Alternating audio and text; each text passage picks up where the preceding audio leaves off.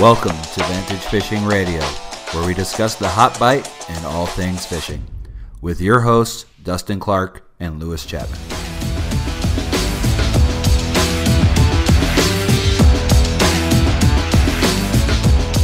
Fish on. Welcome back to Vantage Fishing Radio. So tonight I'm with uh, John Schneider. John, how are you doing? Good. How are you doing tonight, Liz? Pretty good, pretty good. So uh, filling in for Dustin, some big shoes, huh? Uh, I'm trying. So it's good to have you back on. So the last time we had you on was at the Ice Fishing Roundtable.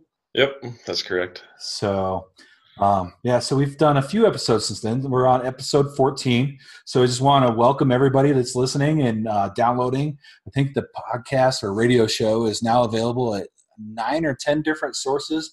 Um, Anchor and iTunes are where it's most viewed or most viewed or uh, listened to. You can actually view it on YouTube. Speaking of viewing, I've been uh, uploading them all to there as a video. So if you want to watch it there, I'm actually working on trying to get it closed caption as, as a request. So something that's currently in the works for those people that would like closed captioning on this. Um, we're, we're definitely working on it and whatnot. But uh, tonight, uh, so kind of a little bit of a loose format. Just John and I talking a lot of yep. fishing and uh, we'll actually get into a little bit about uh, Boulder Middle Creek. We got a, a big project going there that uh, Trout Unlimited is going to tell us all about. And then uh, we were going to talk a little bit about splake and uh, a lot of splake being caught through the ice lately. So we figured we'd give that fish a little bit of a rundown. So, you don't hear a whole lot about them. So. No, no, kind of a rare fish. Uh, for a long time, it was a bucket, bucket list fish of mine, and uh, was able to scratch that one off, and have caught a few more since then. So, uh, definitely a fun one to get to. But, um, well, how about we get at it? let's jump into Sounds segment good. one, John. Cool.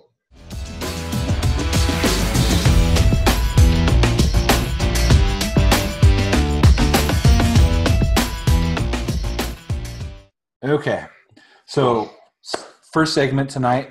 Uh, just doing a little bit open forum. We're just going to chit chat a little bit.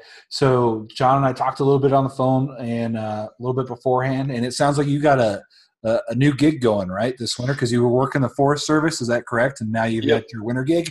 Yep. Um, kind of found a you know a little bit more of a sustainable uh, winter job at Jax Home and Ranch. Um, I, I applied at the fishing department, but uh, this time of the year is a little slow for them. Just you know, with all the ice fishermen out there keeping themselves busy. Um, but you know, it's it's a great schedule, great coworkers, uh, just a great all around place to work. Um, and I'm not going to complain about the employee discount either for uh, fishing stuff. yeah, uh, that, that, always helps. And those Jax stores, I don't know if anybody's ever been to them, but especially the one, in, the original one in Fort Collins it's got such a cool layout and it's like kind of multi-building ish and and it's just a cool feel. It's a really cool store and it's actually got a pretty good fishing selection.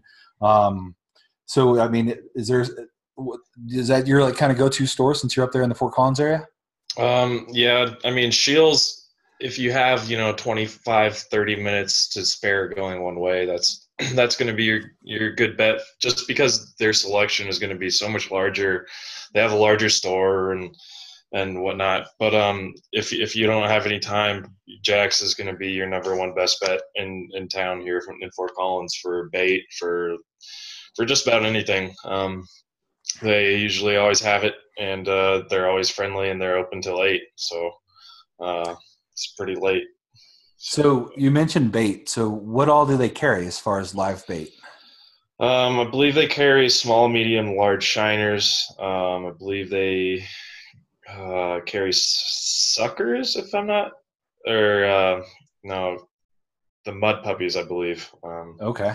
And then your, you know, your red wax worms, your normal wax worms, and then uh, night crawlers and the smaller worms. So. And, and just a little bit of a, a sidetrack off of bait. I was seeing right. a Facebook post just a few days ago where people were griping about the price of water dogs. It was like eight ninety nine a piece or something like that. Yep. And I was like, dang, who's paying eight ninety nine to catch a pike? I who's know. doing that? Raise your hand out there. Send us a comment. Tell us why you prefer water dogs and why you're willing to spend that much uh, to use water dogs to go after pike through the ice. Right. I've never really used them. I don't know if I have the heart to use them. I, what do you think about all that? Well, uh, I mean, my whole pike background uh, kind of centers around ice fishing in Nebraska. Um, that was when we would always catch the most pike, uh, just because it was easy to target them. We'd catch you know quite a few in the in the summertime, but we were usually catching them when we were catfishing. Um, but during the wintertime, I mean, our number one go-to bait was a jig head with a dead smelt from the grocery store that cost six ninety nine for a bag of like fifty or hundred of them, and yeah. you throw them out on the ice. You'd let them kind of you know stink up and soften up a little bit, and then you'd put them on the jig head and put them down a foot underneath the bottom. And I mean, I've caught more pike in my life than I don't even know what to do with, and that was just in the little 13 year period that I lived in Nebraska. Yep. Um, so with this whole water dog thing, you know, people. Yeah, I know they work, and the pike here in Colorado are a little bit more difficult and skittish, so therefore it might work a little better. But I mean, I don't think a pike would ever turn down a free meal sitting on the bottom either. So, you, you know, you brought up the smelt, and that was kind of cool that you did. Um, one of my greatest memories ice fishing with my dad was that every year he would call my grandfather up in Minnesota, and smelt was easily available up there in the kind of the late 80s, early 90s when we used to do a lot of it together. And so the, he would send smelt down on dry ice from Minnesota, and my dad would freeze it up, and then we would go out to 11 Mile, and we would just clean house on the pike with tip-ups and smelt um, out there. And we never used a water dog, and some of the best pike fishing I ever had was with that smelt. So it's still, it definitely works here. It does. So, but um, yeah, so what else uh, you got to, to, to say about Jax?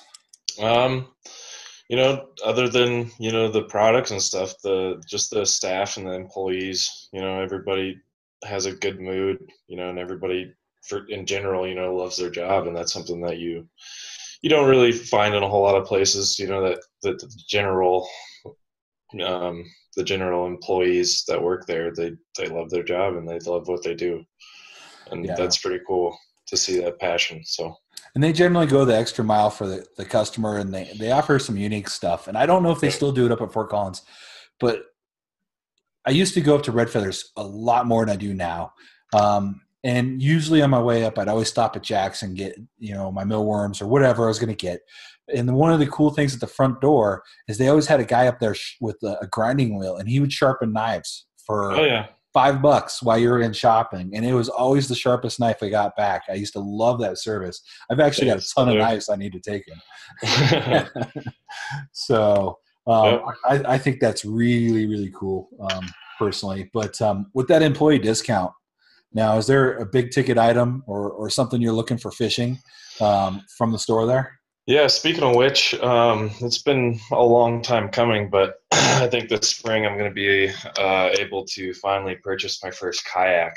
And that's been something that I've been kind of keeping my eyes on a little more serious in the last two years. And uh, it's something that, you know, with, with being local Fort Collins, um, Horsetooth Reservoir is literally less than two miles down the street and I can be there in probably four and a half minutes. And uh, it's it's time to have a kayak. So um, I'm pretty I'm pretty excited uh, about that, and uh, you know all the options and everything. You know I think I have a couple couple options now, but you know, for us bigger guys, I really want to find something that can carry a six foot seven, 260 pounder and uh, not be scared of a little wind because I'm, I'm going to be beating that thing up. So, so what's, what's at the top of your list? What, what kind of kayak are you looking for?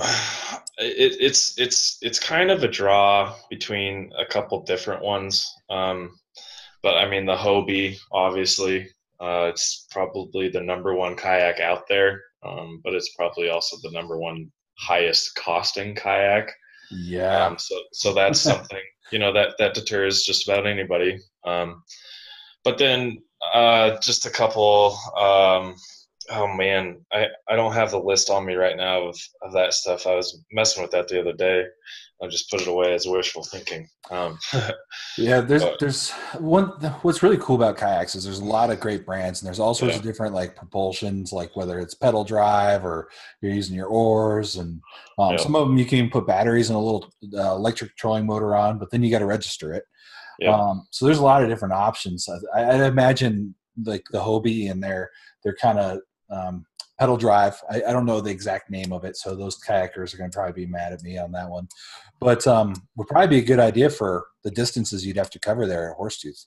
Yep, and that's the thing. You know, I've, the the lake is incredibly long. If if I'm not if I'm not wrong, I believe it's uh, nine miles long and uh, you know there's just there's so many places to go there's so many little inlets and crannies and stuff that you can get away from all the big boat traffic but you got to be able to move.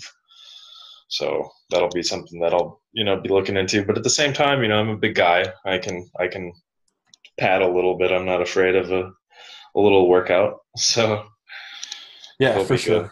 and you know the other thing that's really cool about kayak fishing is all the different accessories for it.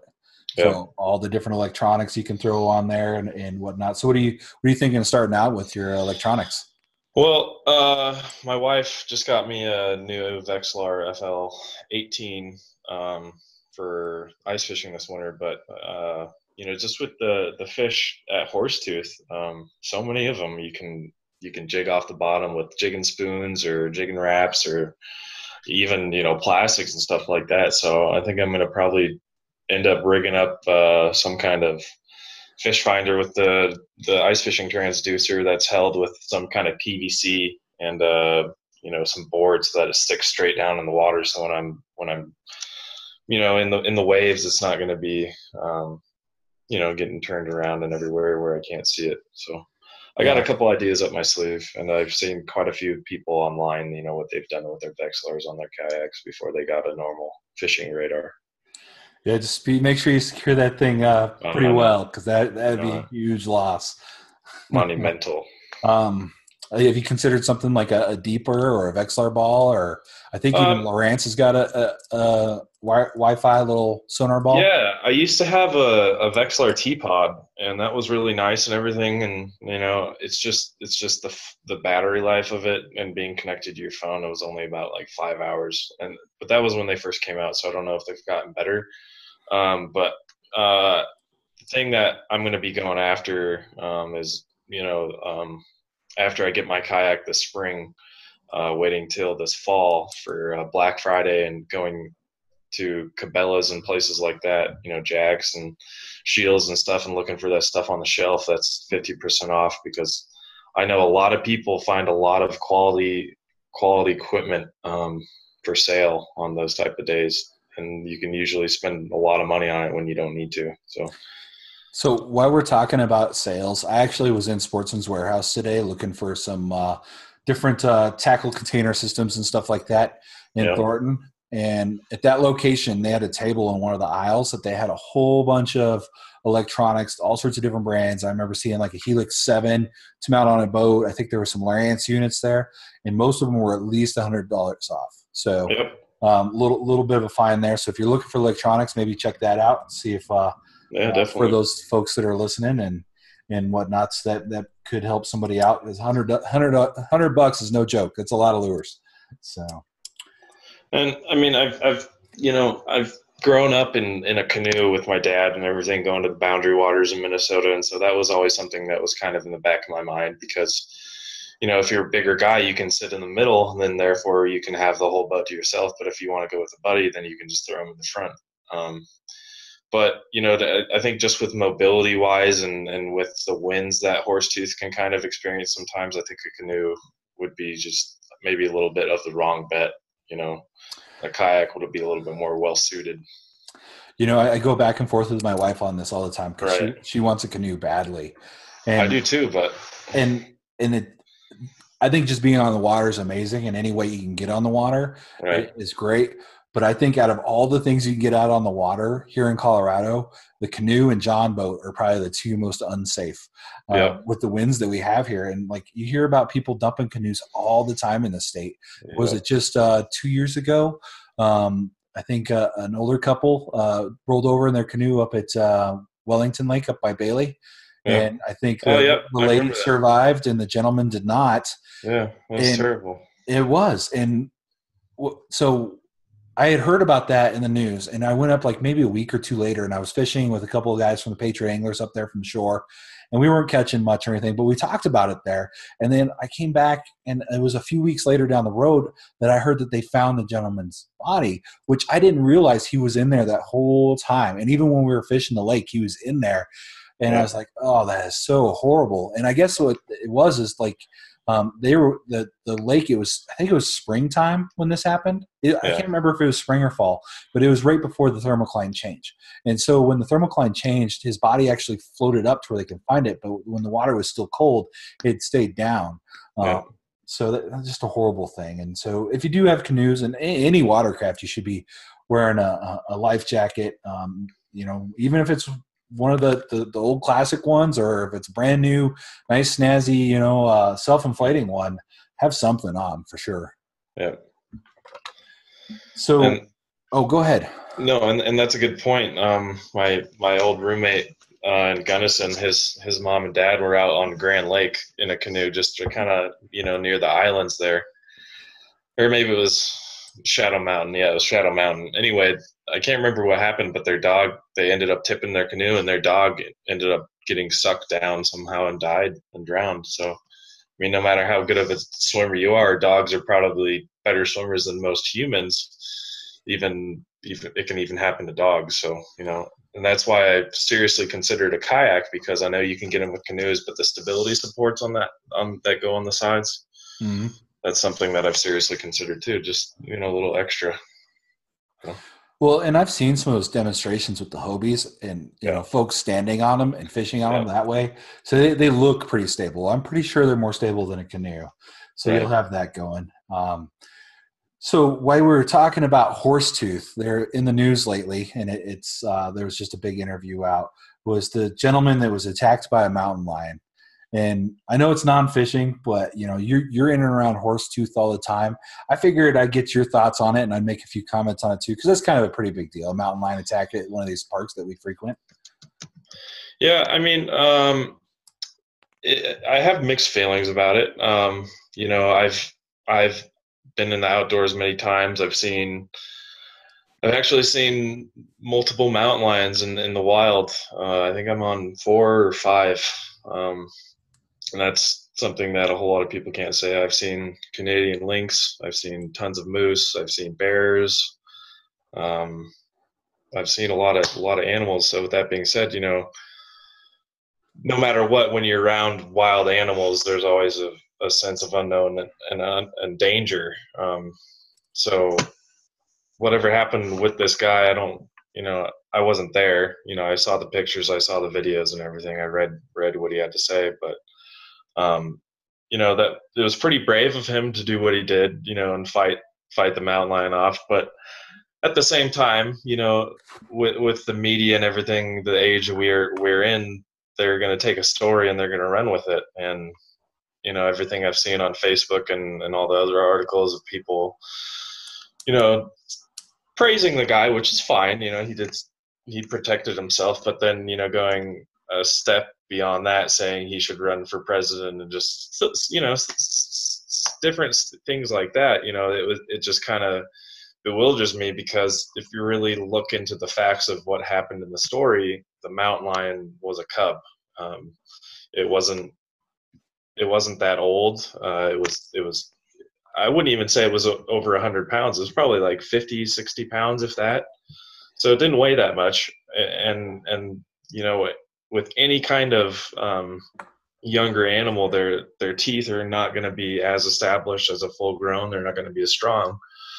But you know going back to what i just said it's a wild animal. So i don't know i'm, I'm kind of caught in between. I think you know my sister my sister lives in alaska and she takes her dogs out for walks daily and she she's run into situations where she's been inches away from being trampled to death by a moose and people die every single year in the united states for moose and i don't think that can be said about mountain lions so i don't know 50 Yeah. 50 I, I would definitely say moose is, even though it's not an apex predator like a mountain lion, it's definitely No. the more dangerous animal. I would even say bears are probably more dangerous because they got a greater curiosity than a, than a lion. yeah Um, and so, but lions are still apex predators. And Yeah. you know, when it comes to cats, You know, if a, if a cat sees something moving, it likes to pounce sometimes. And so I could see how that could happen.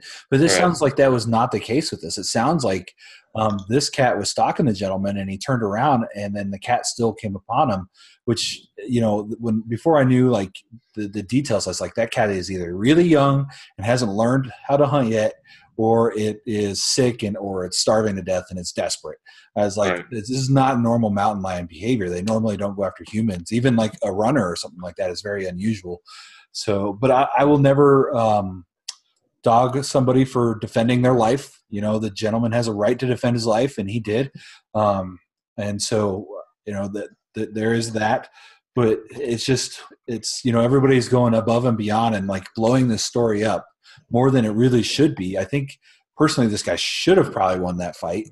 You know, with the size of the mountain lion. Granted, mountain lion still has claws and teeth and all that, and will really mess you up. But right. um, he, he probably should have survived that. Most healthy adult people probably should be able to fight that cat off somewhere, some form. Um, so, I mean, it is kind of what it is. Um, one thing, you know, a normal lion, from everything that I've read and understand, you know, a small male lion's 170 pounds. That's a right. whole other ballgame if you're getting attacked by a cat that size.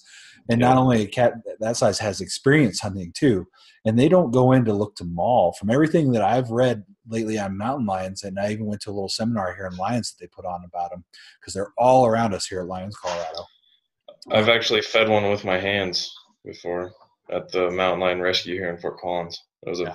full size male. It was gigantic and they're all about stealth and then pouncing and they always aim for the neck to that, that quick net break or, or bite through the neck and it's usually a quick thing they don't look for these prolonged like big fights and stuff like that that, that i think people get in their head so um, I, if there was an adult male that had come across that guy I think it would have been a much different story. So right. but, uh, I'm, I'm glad that he's okay, and I, I'm glad that he was able to defend himself. I do kind of feel a little bit bad for the lion, but it's unusual. You would think that a lion that size would still be with its mother, so it makes right. me wonder what what happened, um, you know, within that lion's family. So, so I'm I'm looking at this just just to add to this. I'm looking at this little, um, and I mean, everybody can find different kind of charts and stuff on any kind of website on the internet, but I just, you know, I've been looking through a couple different pages, and I found um, this uh, this table here that has age and weight per 12 months, and uh, a 10 month year old mountain lion is only going to weigh 50 pounds, and that's a that's a female. A, a male, uh, 10 month is going to weigh around 62 pounds, and so, I mean, that's really that's really not not that big. And a, a 12 month year old uh, females, this says weigh anywhere from 50 to 80 pounds, and the males weigh anywhere from 70 to 90 and I mean, yeah. like you were just saying, 160 pound male, that's a small full grown male. I mean, that that's something to really be reckoned with, but yeah. a smaller cat. There's something definitely wrong with that situation. I mean, that, yeah. that, that cat must have been either sick, hungry. Um, you know, I think at 10 months, they should still be with their mother. I don't know 100% on that one. Right. Um, so it just sounds it's just the whole situation sounds odd and it'd be great to know the full kind of scope on it before we totally monday morning quarterback it. But i'm glad that the gentleman's okay and uh, you know he's going to get some free beers out of it so he's got that. So um all right so i, I suppose um I, have got a few things I want to talk about. I haven't been able to really do much fishing yet. I was wanting to get out this weekend. I should have gone Friday this last Friday afternoon. It was super nice, and then Saturday, Sunday got horrible, and I didn't feel like being in the cold or slipping on new snow or ice, so I, I just kind of kept it at home. And I've done a few things. Um, I've had a, a bent ego net. Eh, don't get me wrong, my ego is just fine, but um, my ego net um, not so much. A big spinny trout uh, a few years back, um, kind of, I had it fully extended and on those ego nets, they extend a long ways if people haven't ever used one. They're really awesome. They help increase your catch rate a little bit, I would say. And then you, it's easy to keep the fish in the water if you just want to unhook and, and release and, and keep fish swimming well. But um, I bent one on a big spinny trout, which I didn't think it would bend on, on those. I don't think it was that big of a trout, um, but it did. And so it, it wouldn't extend all the way or suck back in. And um, I've been meaning for a long time to call Ego and just see what they would do for me or how much it would cost for a replacement. And so I finally did that, and it was free. They sent me a, a free handle, no questions asked. And so my Ego Net is back in service. Um, so it, I just want to give a little kudos to Ego. So if you're in the in the market for a net, um, I've had nothing but good things to say about this one, except for that one trout bending it. And they, I should have called a lot sooner because I would have replaced it, and I would have been back in business a, a, lot quicker.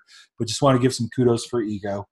And then um, I've been, for the most part, just kind of getting ready for spring fishing. I've been yeah. uh, kind of reorganizing kits, and like I've got so many different styles and methods of fishing, and I'm actually I always kind of rob from all my different kits to make up whatever kit I'm going to go with. And I'm kind of tired of that. I'm kind of tired of taking the time to, to sort through tra- tackle and say, I need this or I need that. I want to try to minimize that. And, you know, I've got a float tube, I got the float pontoon, I do fly fishing, I do a lot of shore uh, and river fishing, you know, walking shorelines uh, hiking into the high alpine with camelbacks and fishing that way, uh, yeah. the boating and ice fishing. So I've decided that uh, I'm going to start building kits for each one of them. And I'm starting with building a full out kit for my float pontoon, the Colorado XT I just got, and then building a kit for for the boat because my I'm planning a huge big trip to Navajo this spring in May. So I'm gonna, I've been working on those, and so slowly ordering some uh, gear off of Amazon, some new tackle and things like that to supplement, and at least trying to get my my uh, key lures of uh, in each kit as far as the tubes I like and right. the Z rays and the, the jerk baits and, and all that stuff. And just to save, it's it's probably going to cost more money, but um, it'd just be nice not to have that hassle anymore. And I feel like I'm so disorganized when I don't have it. So that's really what I've been working on, man.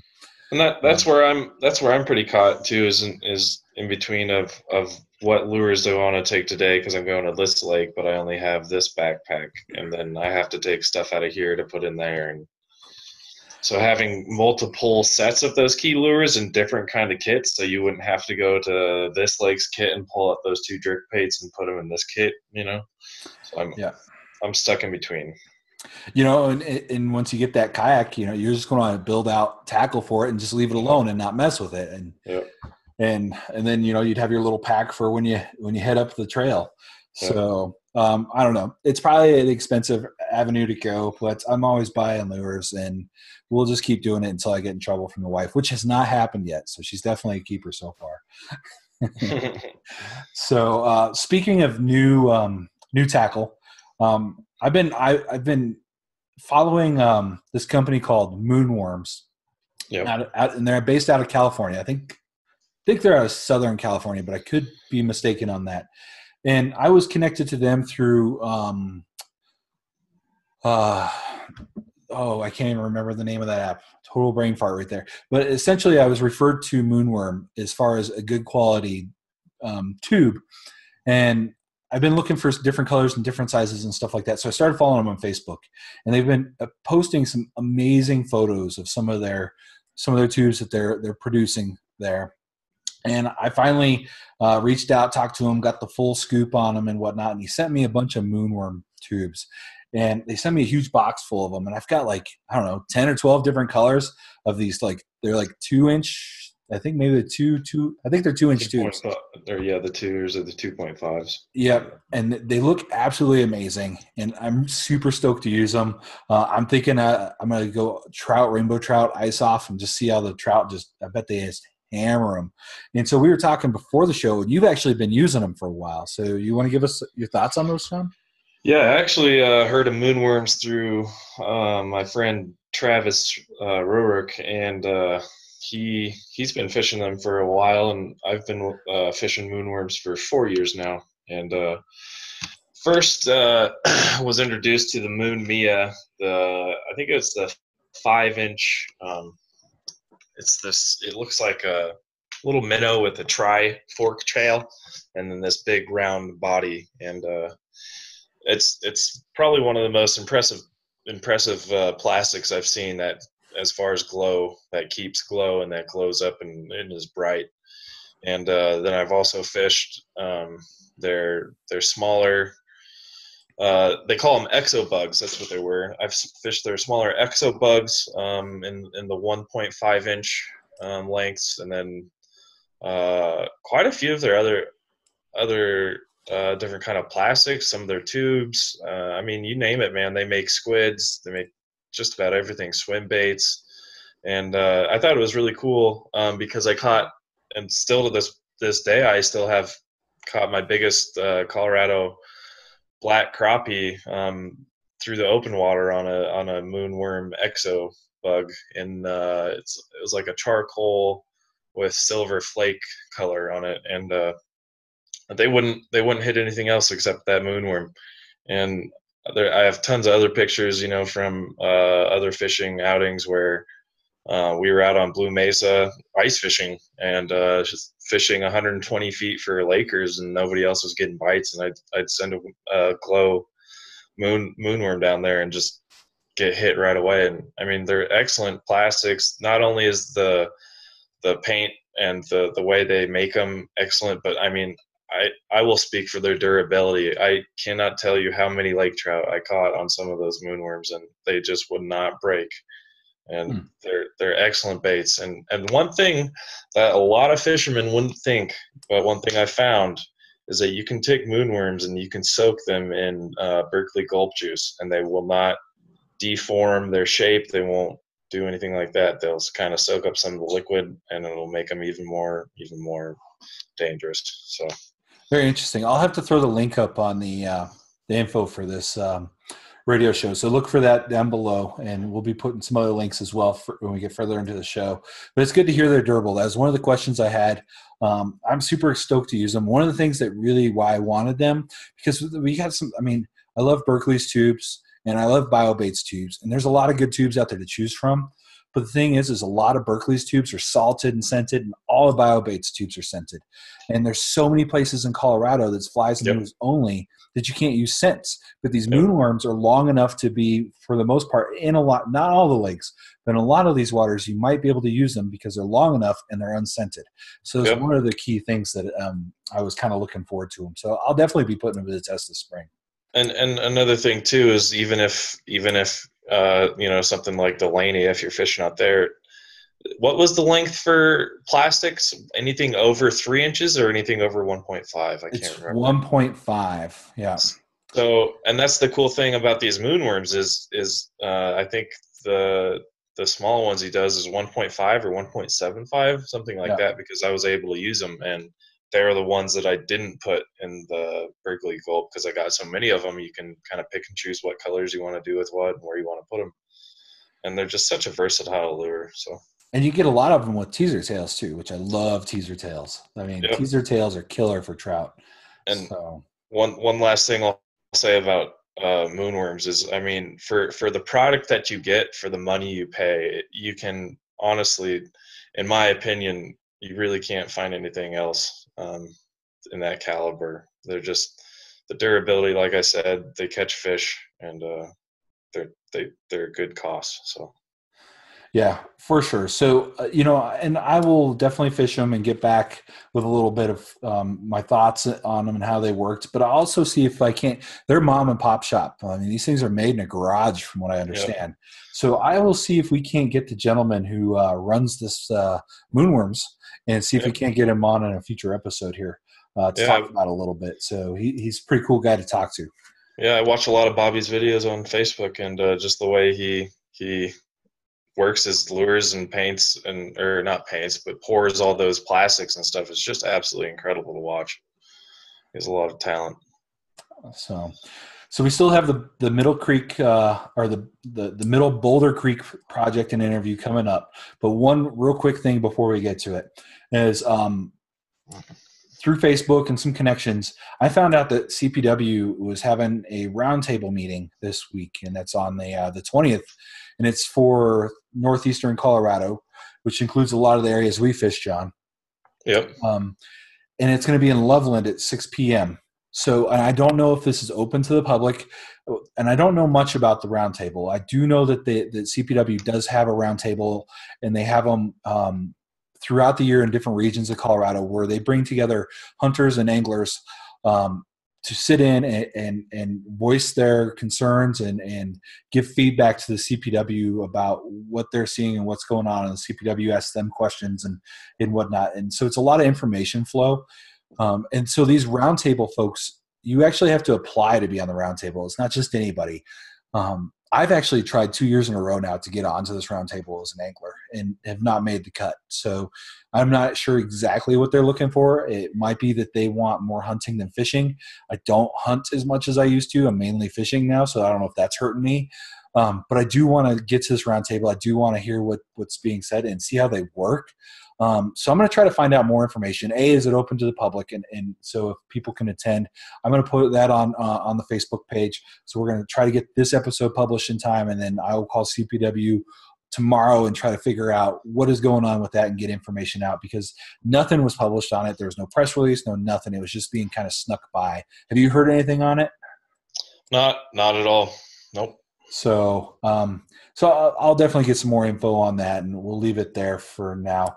And it may be just one of those things. It's just the, the folks that, that applied and or accepted the roundtable are the only ones invited, and it's not a meeting that's open to the public. And I can understand if that's the way why it's not published. But if it's the, the other way around, that meeting should have been published. Um, yeah. So, all right. So we'll be right back with uh, segment two.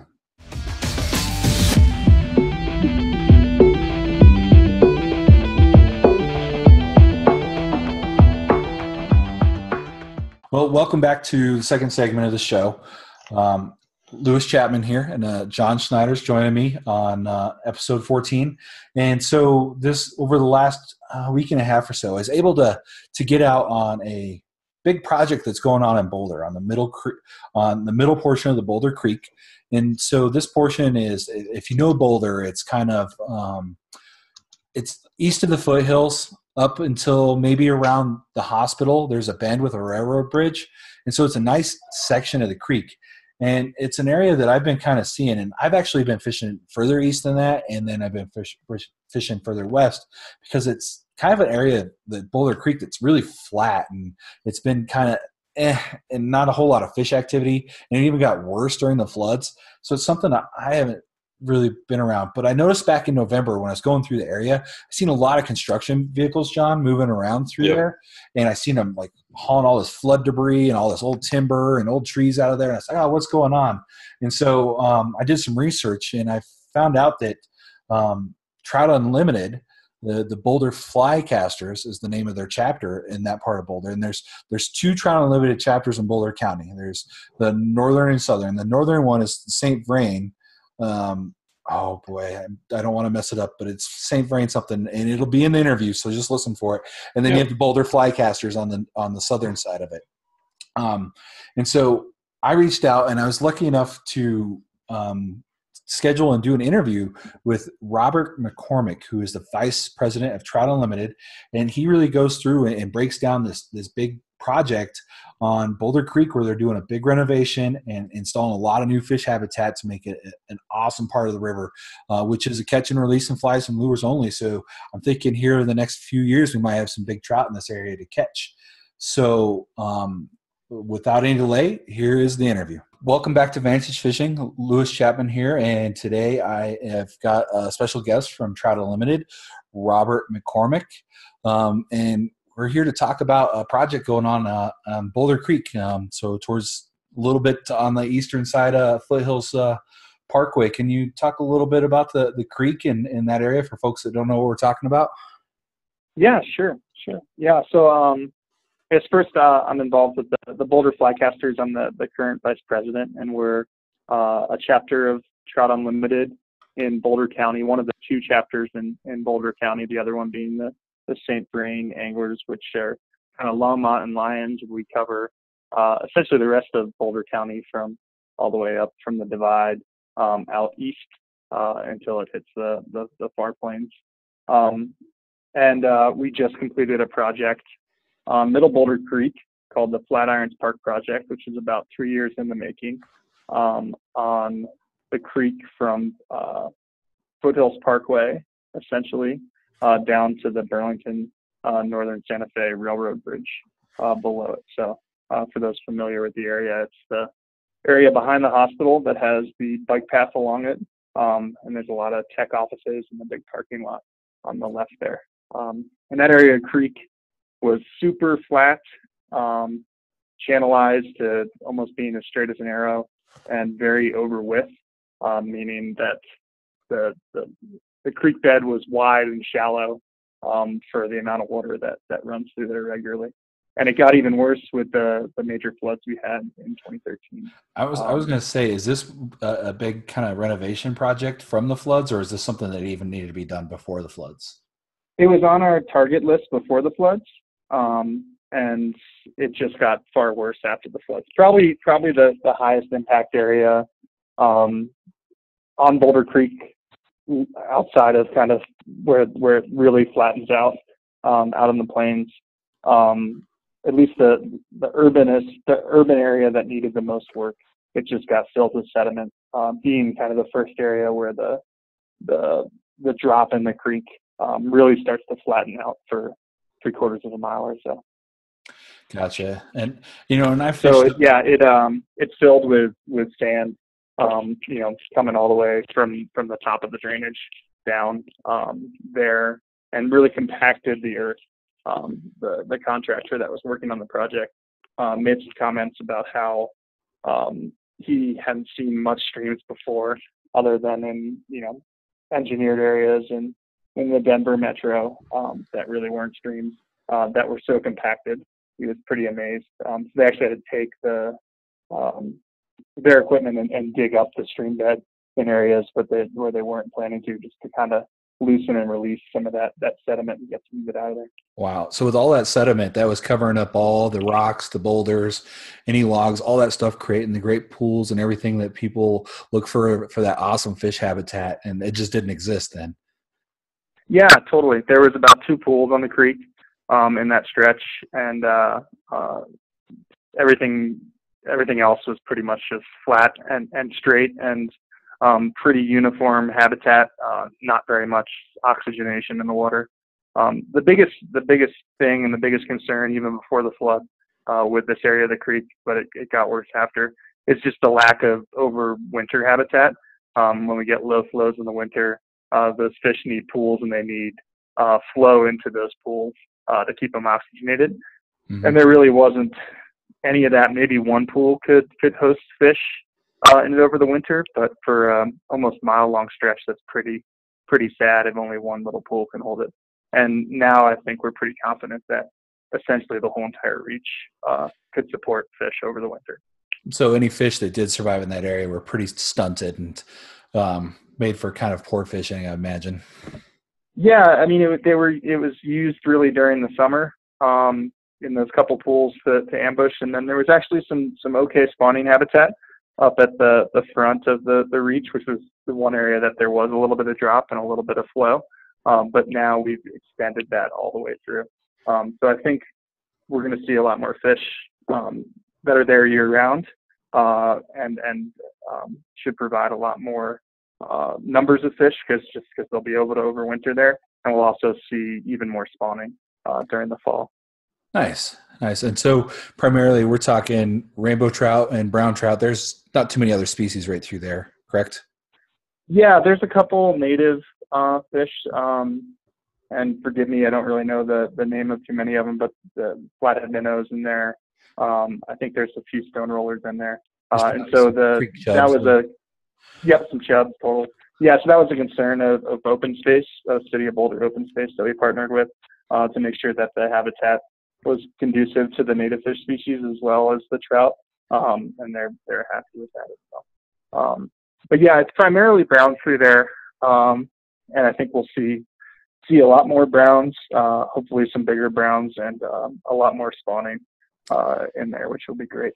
You know, um, this, the, yeah, go ahead. Oh, I was going to say, so I live up in Lyons, and I'm like literally my backyard is the St. Vrain up here, and mm-hmm. it it went through a lot of what it's going through here because after the floods, it was all sediment. It was it was poor. I wasn't sure if any fish survived, and yeah. um, every year I go out there, I'm catching bigger and bigger browns. So they're they've really took to it. So hopefully this will be the same results here. Yeah, certainly, certainly. I think um, you know um, the St. Vrain, unfortunately, I think got the the brunt of the storm and. Um, fared a lot worse than than many other streams. Uh, St. Vrain and um, Big Thompson as well. Um, and Boulder Creek did did fairly well. Um, there's definitely some sediment buildup and some some movement of rocks and uh, some structure was was lost or moved. Um, but it, it wasn't it, nowhere near as bad. Uh, and I think in the end, it's actually going to end up being better if we can, with the effect of the flood, kind of scouring the areas where there there it's steep and, and there was flow, um, getting some of that that sediment buildup just from not having high flows for a few years. Um, yeah.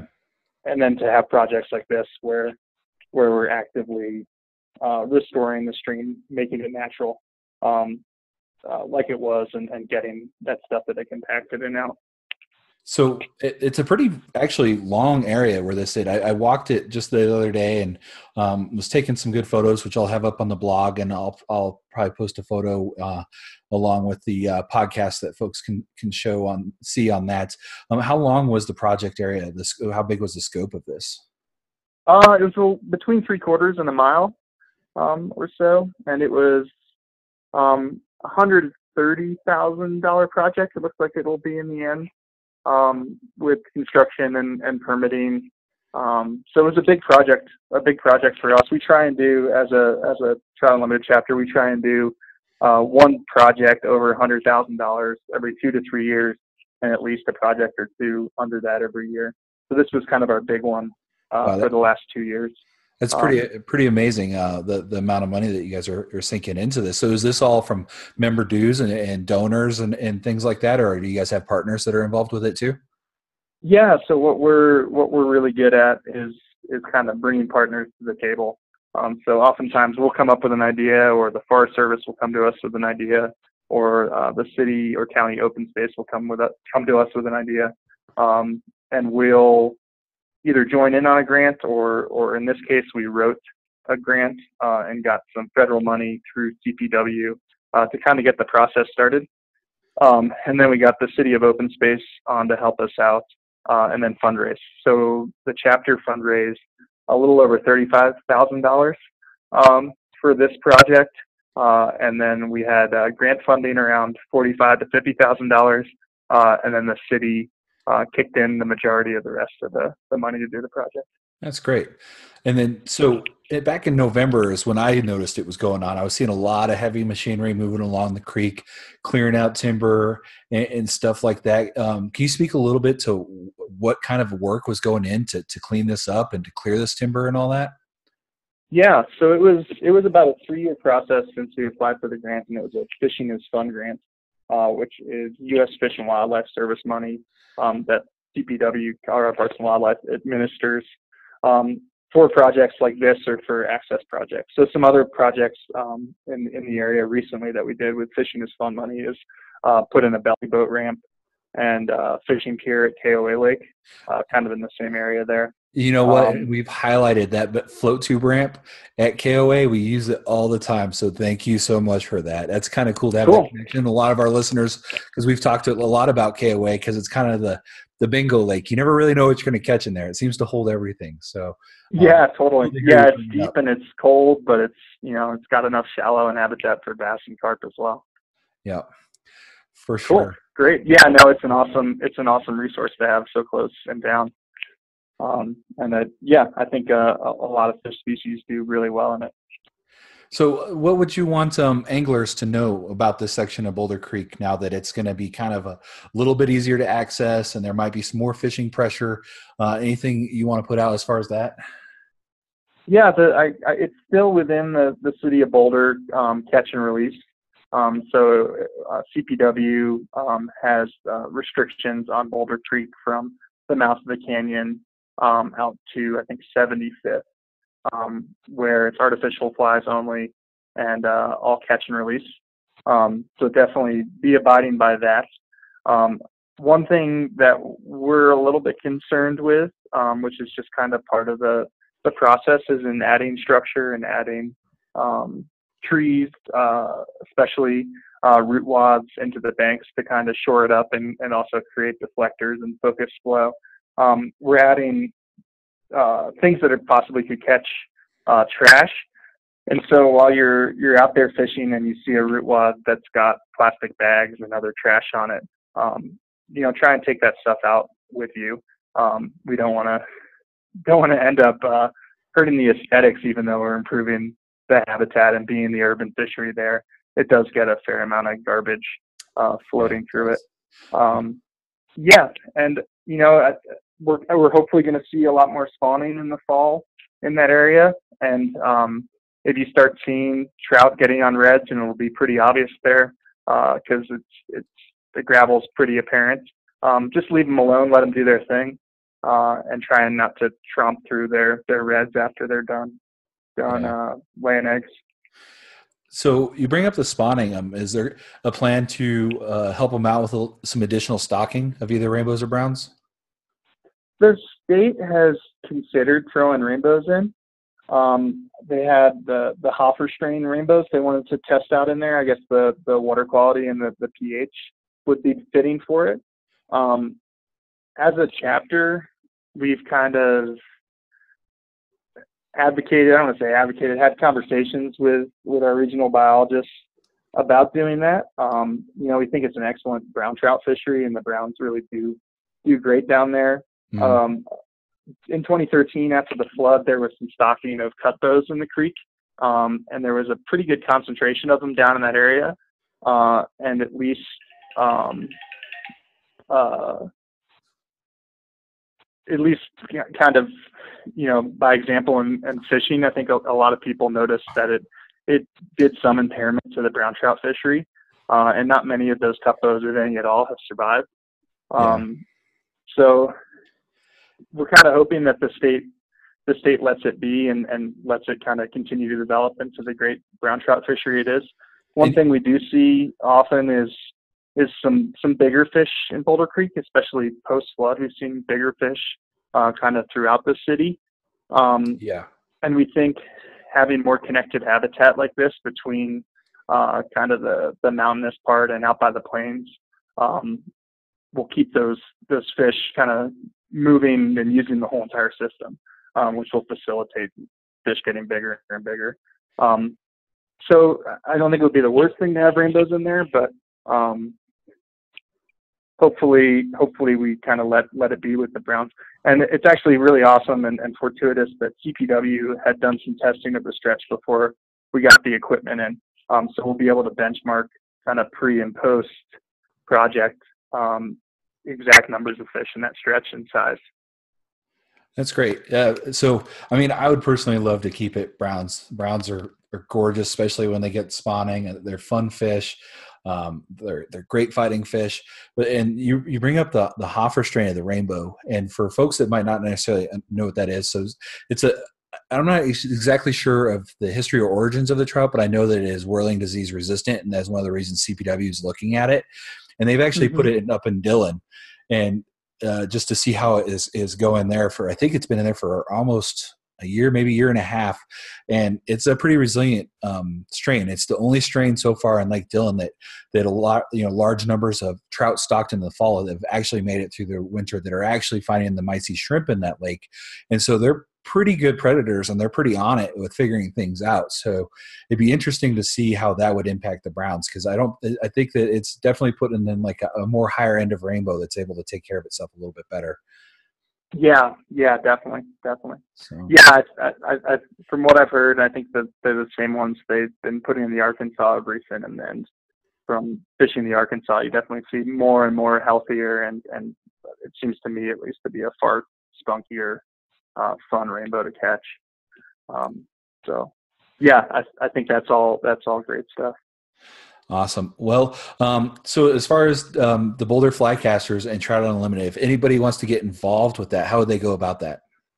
Yeah, so we meet uh, from September through May uh, and have public uh, chapter meetings open to the public um, on the last Wednesday of each month, uh, starting at like 6:30, 7 p.m. at um, Upslope uh, Brewery off 55th in Boulder most often. Sometimes we try and head out to East County um, at least once or twice a year for a meeting out there um, at a different brewery or, or Mud Rocks. We usually try and and pair beer and meeting. And those those fishing those are those meetings are um, usually about three quarter fishing topic, uh, and then a quarter conservation topic, but also just a, a good spot to meet uh, other anglers and conservationists uh, and learn more about what we've got, got going on. Um, BoulderFlycasters.com uh, is our website, uh, and you can find us on Facebook um, at Boulder Flycasters and Instagram as well. Uh, and then if you want to join the board, we're always looking for new board members. Um, and we meet the first Wednesday of each month in Superior. Um, and uh, just reach out to to anyone via Facebook or email or, or Instagram um, about that. But we're always looking for for new board members and folks to get involved that are interested in, in conservation, access, um, youth education. Um, those are kind of our, our big things, but especially conservation and restoration. Our, our chapter really focuses on that. That's awesome. Uh, do you guys have any uh, future projects or cleanups coming up this spring or summer that you might need help with? Yeah, so we're, we're going to do some planting on, on this stretch, uh, most likely um, probably before runoff if it's looking good. Um, so we'll have that uh, up on the website when we're going to do that. Um, just willow staking. There's a lot of uh, non-native crack willow in there, so we're going to try and reintroduce some native species um, back in the area. Um, and then we just won uh, a large grant um, with uh, um, the Colorado Water Conservation Board uh, to do a years-long study on uh, South Boulder Creek from the El Dorado ditch um, all the way to behind the Toyota dealership where it meets the Excel Canal. Um, so we'll be doing a lot there, um, some citizen science work with with monitoring, um, and then just kind of trying to build a better uh, data set and baseline data on South Boulder Creek. Um, just because there's not much really known about it, or what's known is is in kind of separate silos, um, and we see a lot of potential changes uh, to the creek and, and how it's managed in the future. And we just want to make sure that, that everything gets done that happens in the best interest of the creek and um, hopefully can improve the fishery there. Yeah, that would be great. Well, I, I just want to say thank you. Uh, um, this is amazing you know seeing the before and after on this and i'm sure the fishing is going to be be just as great leading into the future. And it i see some great bends in there and some some good uh, structure that i think after a couple good spring runoffs they're going to develop some really nice pools and some great areas to to fish. So just uh, keep in mind everybody that this is a, a, catch and release flies and lures only area. So you know be kind uh, leave that resource for other anglers and uh, for future generations and whatnot. Um, any last comments why i uh, have you on robert? No thanks. No it's uh it's great to hear from other anglers that they can already see kind of the, the, the work that was done there. Um, you know that I, I, think there's uh, something very important as a, a, a fisherman. Um, that you start to learn the more and more you get involved in the sport and you start thinking about ecology and and uh, that you know plays heavily into where you fish and how you fish and what you fish. Um, and so it's great to, to hear from other other angler that they they can notice that this stream is is actually a stream again and not just kind of a highway to transport water. Um, yeah. So yeah, thanks thanks for spreading the word about our project and uh, if any listeners are out there, uh, we'd love to have you get involved. For sure, and we'll post up. I'll uh, post up links to uh, your website and and make sure that's easy access for folks to get there after hearing uh, hearing this uh, um, uh, segment of the the show. So thanks again for coming on, and uh, hope to have you on on future episodes. Cool. Thanks a lot. Great interview with Robert McCormack. I can't thank him enough for for joining me. Um, he answered a ton of questions and, and learned so so much. And it's kind of excited. Like, um, you know, as we were saying before, John, it's it's going to create a lot of habitat for a lot of new fish and, and potentially yeah. a lot of brown trout. Now, you've done a little bit of work, so you might be able to speak to this. You've you've worked on the pooter install in fish habitat. So, what's all what what's all involved with that? Well, a lot of it, um, you know, the fish have to have you know a, a good solid bank system in order for you know a lot of sediments not to be washed away when there's high rains, and so that's where it first starts. And so near the Watson State Fish Hatchery here in Fort Collins, um, a couple years ago, we helped uh, TU and then also Colorado Parks and Wildlife uh, do a bunch of uh, fish habitat rehabilitation there when when the floods wiped it out, and we took a bunch of uh, oh, come on now, uh, the plants near the the edge of the water, like uh, moose eat them a lot. Willows, we took a lot of willow shoots yeah. and, and uh, had them cut off, and then just plugged them in the ground and. And I came back there a couple years later, and I couldn't believe it. But the willows had grown in, and uh, the ground and the bank was all just pretty solid and rocky, and it looked great. And uh, just to see, you know, some of that work done, you know, to to benefit the fish that are down there is really cool. And I kind of liked what you said um, before that interview about about how that that area that they're working on um, for the new fish habitat on the south on the South Boulder uh, or on the Middle Boulder Creek. Um, how it's catch and release because you know thinking a lot about Minnesota and and how they kind of do their fishing down there. There's seasons, you know, to take fish, and in Colorado, there's really not a whole lot except for minimum size requirements, and and so something that I'd like to see a lot more of is a lot more catch and release areas, um, just to catch big fish. You know, because a lot of people like to catch big fish, but a lot of people don't get the chance to catch big fish, and so areas like that, you know, I think would really be beneficial to Colorado and, and CPW. Eh, you know, especially when it comes to fishing in the creeks and rivers in the state, because um, they can't handle the pressure as much as the lakes can, and, and they're not as easy to stock. And, and fish have a harder time surviving in rivers. There's, sometimes there's not as much food, and um, they have to put forth a lot more energy to get food in the rivers.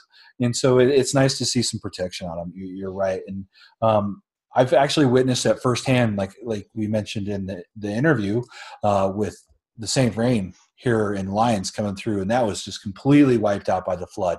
And I wasn't sure if it, I thought it was going to be years and years and years until there was good fishing here in Lyons. And um, you know, they came through with all the backhoes and they did all the restoration and they, they yep. made some awesome pools and some awesome habitat throughout the, the town of Lyons and through our parks going up the mountain a little bit and it's all catch and release flies and lures only. And we're already seeing big fish. I mean, I've caught rainbows above 16 inches. I'm starting to get bigger and bigger browns every year.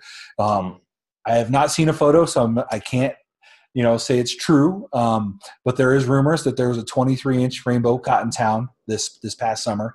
So uh, a lot of key signs that this kind of stuff works. So I'm excited that that, that Trout Unlimited is doing this type of great work um, for Boulder. And, and, Boulder Creek is a very popular fishing area. Um, there's it a is. lot of fly fishermen, and, and, a lot of people spin spin fish it too. So uh, it's something I like to do. I usually will take a ultralight and a and a five weight down to Boulder Creek when I fish it, and and I like to to kind of hit it in the, the spring and fall when it's a little bit more quiet and there's probably not as many people on the trails, and, and the trout usually are biting a little bit better but uh, it's always a fun and uh, neat thing to do and it's something you can link in with some pond hopping because there's so many ponds in and around boulder so it can make a great day of, of fishing multiple different waters so it, right. it's just good to see that kind of work and um, so one thing I, I did want to bring up and i'm going to try to get really involved with it and i welcome you too john if, you, if you're willing but um, try to I, I learned after this interview, um, talking with Robert via email a few days later, that there is, in fact, another project coming up, and he mentioned this stuff in the, in the interview, but an additional one from what he mentioned. Uh, they're, they're potentially looking at uh, opening up a pond here in Boulder that I think is Boulder Park and Rec, and I've never been to the pond. And I think I know where it's located, but it's it's called Pond D, and it's an old construction pit. And I think it's out near the the Sawhill Ponds, if you know where yeah. those are out on the east yeah, side of town. Of and essentially they want to open that back up and put a uh, float tube ramp as well as a fishing pier on the lake. And so they're looking for some um, collaboration. And so i'm linking them up with the patriot anglers and i'm going to try to help do some grant writing as well as put the gloves on and help build a little bit of that and get some veterans in work uh, to work on it and in collaboration with Trout Unlimited. So if there's anybody out there that's willing to help out on that, you can always reach out to us here at Vantage Fishing and and uh, maybe we can uh, do something a little good and then give back to our fishing community. Yeah, totally. So. And, just, and just one thing, uh, last thing I'd like to hit, just because I feel like you know catch and release is kind of a, a sensitive subject for some people. Um, one one thing that I I learned this ice fishing season from uh, ice fishing pro Eric, and I'm gonna I'm gonna totally kill his last name, but Eric Hatjada. Um, I'm not sure if you've heard of him, Louis, but uh, mm-hmm. he's a he's a big ice fishing guide, uh, ice team clam member out of uh, oh boy, I'm I feel horrible, but I I follow his Facebook and he fishes Milwaukee Harbor. Um, and he caught the same brown trout three different times. And this thing, I can't remember the size or whatever, but the fish in Milwaukee Harbor are huge. And I, if I if I'm right, this thing was like 20, just huge, like 20 pounds or something like that. And just you know, to the people who say catch and release doesn't work on big fish, it works. And if you do it the right way, if you educate yourself, and if you watch videos on how to properly do it, you can almost almost always make sure that fish goes back alive. Yeah, I totally agree with that. And I have seen those videos. Um, they're easy to find on YouTube. Just Google them, and they're pretty amazing. Uh, he does uh, a lot of that with the automatic fisherman too. Right? If yep. I'm thinking right, yeah, yep. I've seen those. They're really cool and they're gorgeous fish. So definitely yep. some videos to watch. Um, so, but um, you know, as Robert was saying in in the interview, um, there's a Trout Unlimited could use some help. You know, whether it's volunteering to, to work out on the river and the, the ponds and lakes in Boulder or um, working as a board member. But Trout Unlimited um, is not the only one. There's actually a lot of different fishing organizations out there, charities that uh, could use a lot of help. You know, the Patriot Anglers. Um, there's just one day. I know Denver Parks and Rec, and there's so many more out there that uh, do a lot of great things, a lot of bass clubs and stuff like that. So if you got a little bit of free time and you're huge into fishing, I would say at least check it out. You know, maybe go volunteer for a day or go hang out with some of these folks for a day and see what you think, because um, they could always use a hand. They, they really can. They do a lot of good things. They get a lot of people into fishing, and they do a lot of great conservation work. So um, I think uh, we'll end that segment on that note. Unless you have anything else to add, John. No, I'm pretty good. Okay, well, let's move on to segment three about Splake. We'll be right back.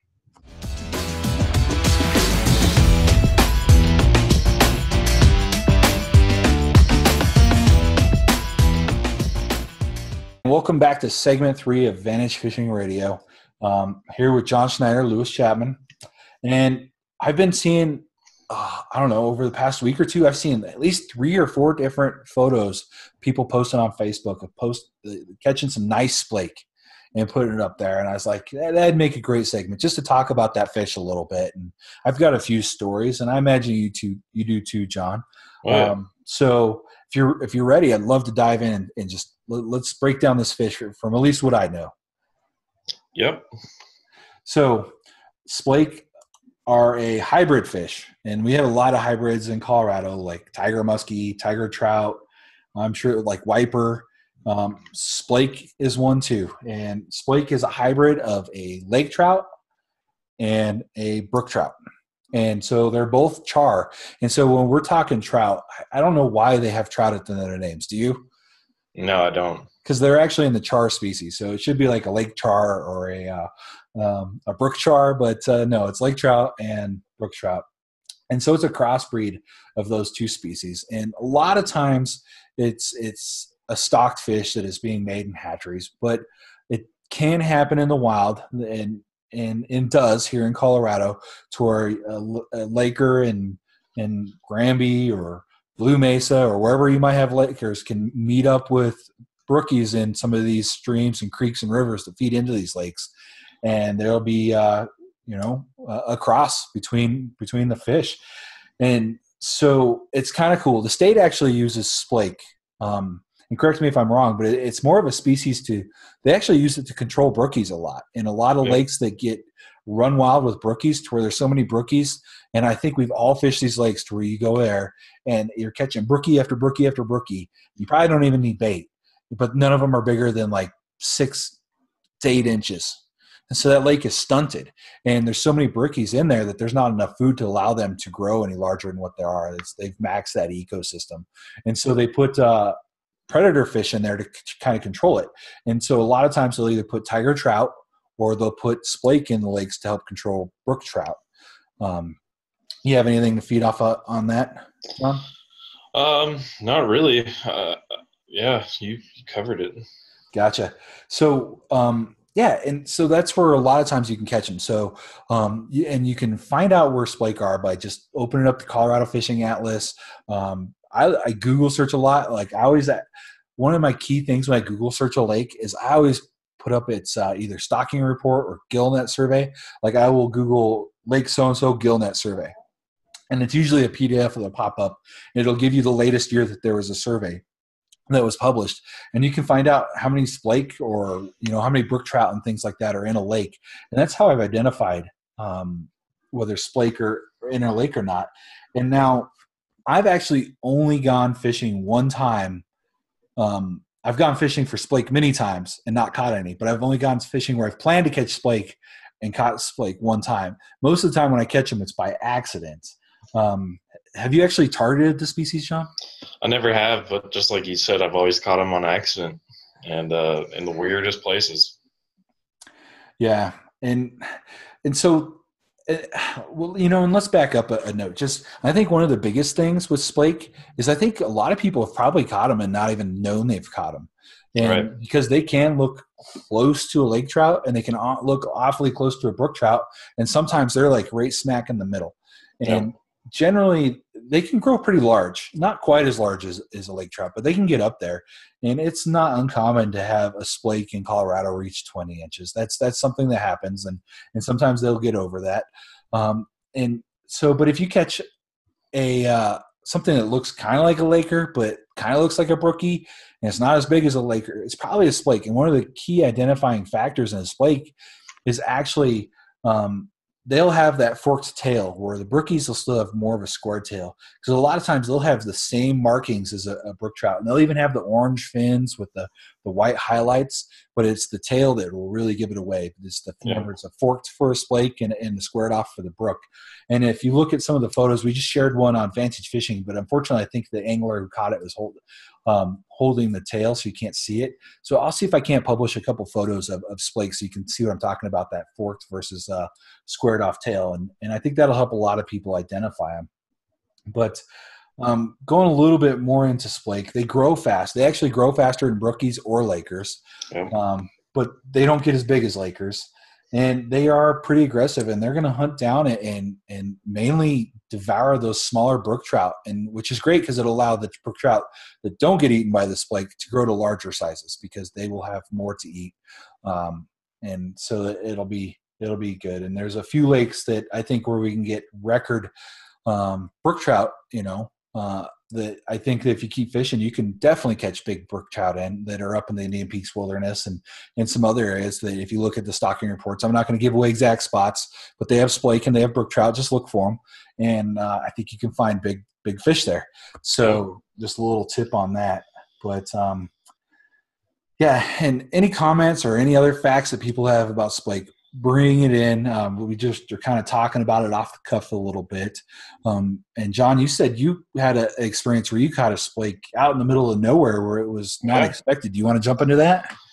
Uh, yeah, I mean, I was just pretty much trout fishing um, at my, one of my favorite holes right before Three Rivers Resort in uh, in Almont, Colorado, and I stopped there on the side of the road and started fishing, and all of a sudden I caught you know something pretty big, and uh, uh, ended up getting up to the shore and it was a 2.5 pound splake and uh, i was from from the mouth of or from the the start of blue mesa reservoir i was 19 miles upriver um, probably less than a mile away from the confluence of coal creek and uh, uh the gunnison river there.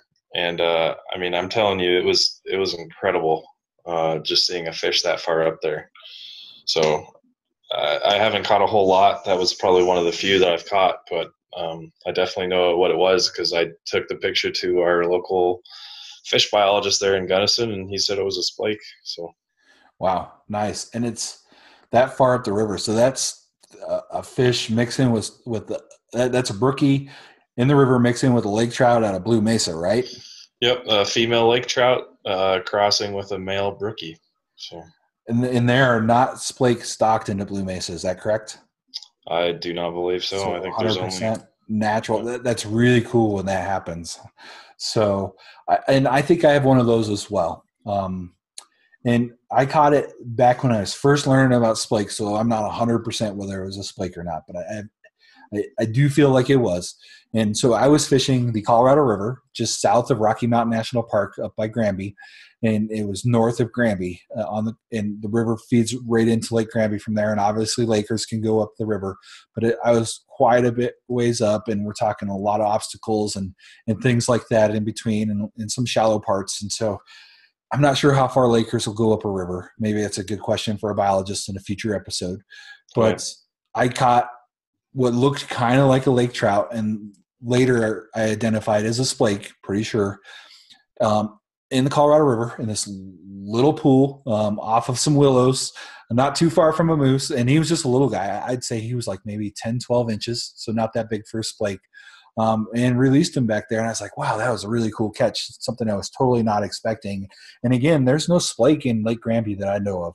Um, right. So that is definitely a natural fish. And um, getting to another story where I ran into splake was actually at Antero. And there are splake in Antero, um, not caught very often in there. Um, and I don't even know if you can still fish this way in Antero. So, um, and maybe I was wrong by fishing this way when I did it back in the day, but this is maybe six, seven years ago. Might even been a little bit longer. But we used to ice uh, ice fish Antero at night, and I don't think you can do that anymore. Um, maybe another thing to look into.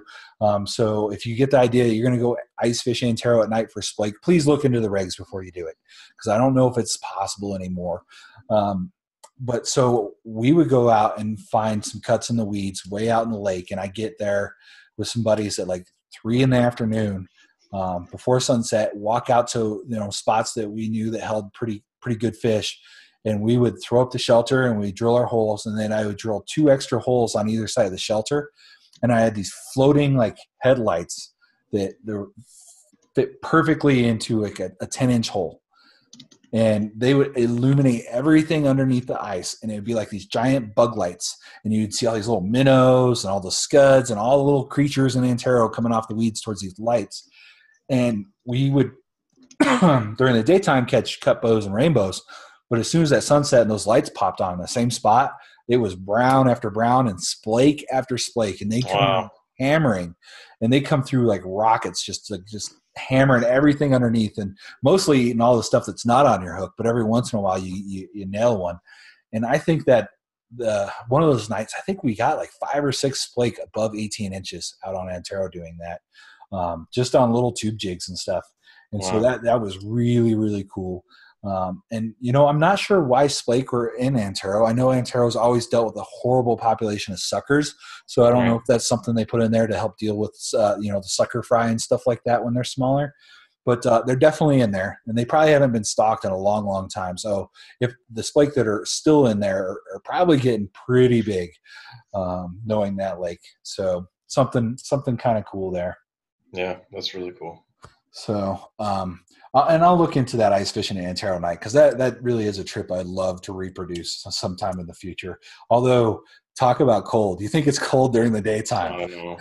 okay, yeah, I think we only lasted to like two or three in the morning, and then when you come out of the shelter, it's like pitch dark, and there's no lights in Antero. Like any direction you look when you're way out in the lake, and so you know if it, we still had footprints in the snow and stuff like that to get back and follow back. But man, if the wind had blown those over or something, I don't know. It was very disoriented coming out of the, the shelter after being in there all night um, and not having any lights or anything like that. So something to be aware of if you try something like that. Yeah.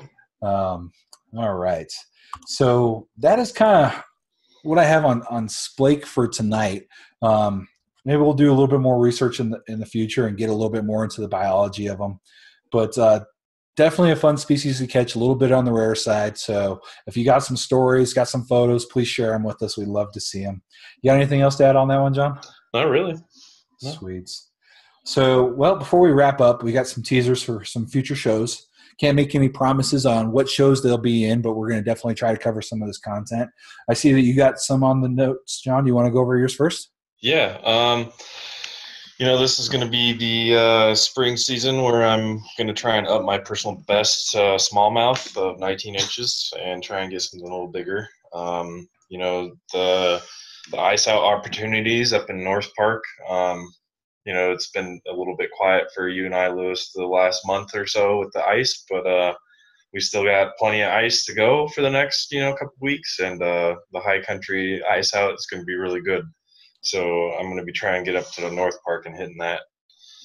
And then uh, last but not least, uh, my favorite time of the year, and it's not Christmas time, um, but the spring smallmouth spawn at Horsetooth. Um, just absolutely crushing fish all day and uh, watching them go home just as happy as I am. So, so about when in the spring is that generally? Because uh, I'd be curious. Um, I generally, I generally don't see. Uh, it's it's all about the water temperature, and I'm. Uh, I haven't really dialed it in 100% yet, but I believe it's around 50 to 55 degrees is when they start getting on their beds. I could be wrong. I'm probably wrong. Yeah but I know the dates is always from about the first to second week of May is when it starts, and then it goes full force into the end of May. So you have about a two to three week chunk that you can just crush fish, and uh, it's good in between or before and after. So you have you know more or less six weeks, um, but it's my favorite time of year. So so while you're doing while you're doing that on Horsetooth, I'll be doing the same thing down at Navajo because I'll be hitting them. And I have actually the last two years I've hit the smallmouth spawn at Navajo right at full force, and it's it's something that's amazing. Um, I've yeah, never that seen. Sounds amazing. I'd love to join you. Oh, hey, you're more than welcome. Yeah. Bring bring a tent and a sleeping bag. Uh, yeah. Um, yeah, so we'll, uh, we'll be getting into talking about Navajo in future episodes too. That's definitely going to happen, and um, spawning smallmouth are, are, are, pretty fun to catch, pretty aggressive. Um, so yeah, it's definitely, I look forward to that. So again, we got our St. Vrain fishing experience coming up. Um, that is going to be in March. So be on the lookout for that. And as we get closer, we'll talk more about uh, the state park there and, and, fishing there and getting more into to the experience and the event that, that they put on, which is a really good one. But uh, one thing I'm really looking forward to, fishing wise, which we are just weeks away, and I've been seeing a lot of posts by James Trujillo, Mr. Walleye himself. Uh, that spring walleye bite is almost here, and I thought it was going to be, you know, we might be getting walleye really quick because those lakes are starting to come uncapped until this latest cold front. But um, uh, we're just weeks away, and next week I will be cleaning up the boat and prepping it for that spring walleye bite. Nice. And I've been talking to John, and I think, or not, excuse me, holy, why did I do that? I've been talking to James. Um, uh, my apologies, James, but hopefully we're going to have him on the show in the next week or two. Um, and he is a great person to talk to about walleye. I don't know anybody that can outfish him for walleye from the shore. Um, it, it's something uh, something special there. So definitely a must listen show if we can get him on. And then uh, the next thing that I'm going to be going to later in the month that I'm looking forward to is Rep Your Water. They've got their warehouse in Boulder and they do a lot of events there and stuff. But they're having a movie premiere um, of a fly fishing movie. It's was it the um, Crosswaters, a, a River Smith Originals. So I'm going to be going to that. So if anybody wants to come join me, uh, it's going to be a good time. I think everybody gets at least one free beer and plus they've got a million great hats and like i'm always looking to add another rep your water hat to my uh, little stickers. collection. Yeah so something you know if you're feeling the bug and and uh, you want to get out for a night and beer and hang out with a bunch of other fishermen uh, I, am going to be there. So and i've shared that on the vantage fish fishing facebook page and i will share it as we get a little closer to so if you're looking for those event details then there's that. And uh, Again, I will put all the links from this show below um, when we get it published so you can easily navigate this stuff. And before we wrap up, John, uh, you have anything else you want to add in general about anything in the show? Uh, not really, except uh, I just want to get out fishing, and uh, I'm sure everybody else does too. So. Yeah, me too. It, has been a long drought, and I should have went Friday, and I'm kicking myself. Yep, and so uh, I might try to sneak out at some point during lunch or in the evening this week if if I can find the time and if the weather breaks a little bit. We'll see. I think lakes are recapping. Yeah. Um, yeah. Well, if you've enjoyed or found value value in uh, the show or any of our blogs, please like and share them. Spread spread the joy. All our content is free. Um, if you have something to add or any comments or anything like that, or if you want to come on the show or write a blog, give us a shout. Uh, we'll always entertain that and uh, fight the skunk.